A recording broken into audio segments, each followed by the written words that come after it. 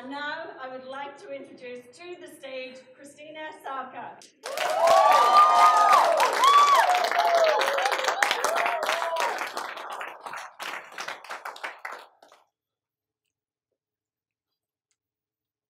Hi, I'm Kristina Savka, a signature brand stylist, a camera confidence coach, and the host of Creative Hub TV, where I give you a chance to share your story with the world.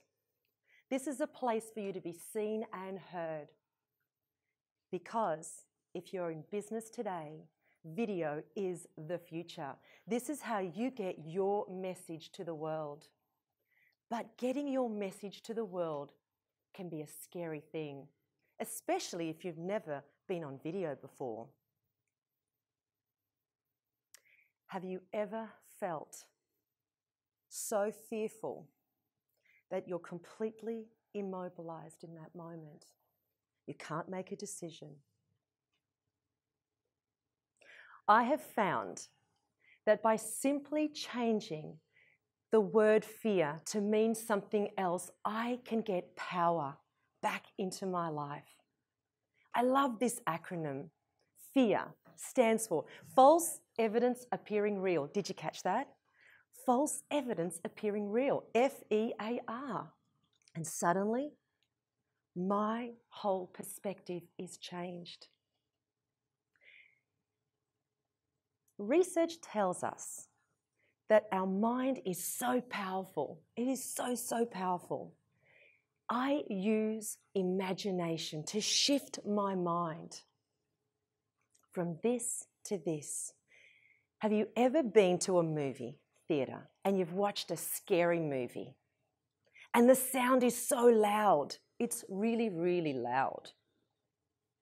Imagine this the scenes are scary, the actors are really traumatizing you.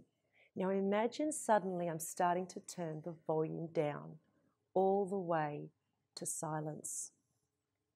Do you think there'd be any more power? Do you think perhaps maybe it would lose its stimulus? So here's what I know. If I imagine my fear in that moment of fear when it isn't happening, I can use my mind to take the stimulus away by quietening those voices in my mind. And suddenly, that fear isn't scary. And then I can use that knowledge that I have. And suddenly, that fear can dissipate so quickly, so quickly. I know fear. There was a time in my life, I was about five years old. I'm the eldest of three children. And for the first time in my life, I felt fear. Have you ever felt fear? You know how gripping it is? This thing really, really gripped me. And you know, it, it gripped me for my entire childhood. Have you ever been scared? What's the first thing you want to do? You want to run and hide. But being the eldest, I couldn't run and hide. So I chose to stop speaking. I gave myself a speech impediment, and that was my power. Now, it's it really served me as a child, but it was a disaster as a teenager. I was ridiculed. I was a stuttering fool and a mess. And it took ages. I had to learn that fear is false evidence appearing real. I had to learn to use my imagination to turn down that volume. And all of a sudden, I started to feel that I could come out of this mess and come into here. And just 12 months ago, I had a dream that I would help others to step out of their fear and give them a place, their own little bit of fame, their 10 minutes of fame, to own their story, to own their message, to be seen and heard, that your voice matters, and that you are amazing. Truly, truly amazing. So, those three things. I want you to remember them if you're ever faced with fear. And the first one is remember the acronym false evidence appearing real. When you see it coming at you, it is just a delusion. Remember who you are. And the second one, use your imagination. It's powerful. Take the stimulus away from the fear before you even go into that fear zone. Or even when you're in that fear zone, use that imagination. And the third one, I've left it last. I'm 49 years old today and what has seen me through,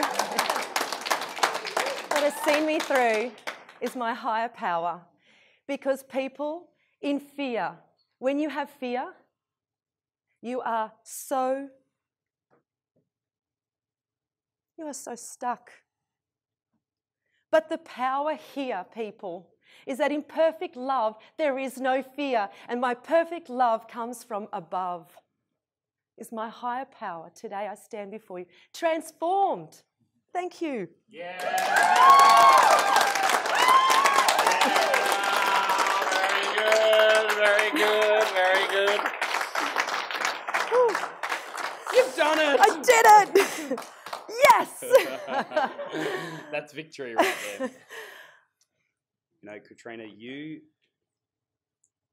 you are a speaker. And the more that you actually take a hold of that and run with it, the more that you realize that there are stages in the world that are waiting for you to step onto it. There are people out there that are waiting to hear your message.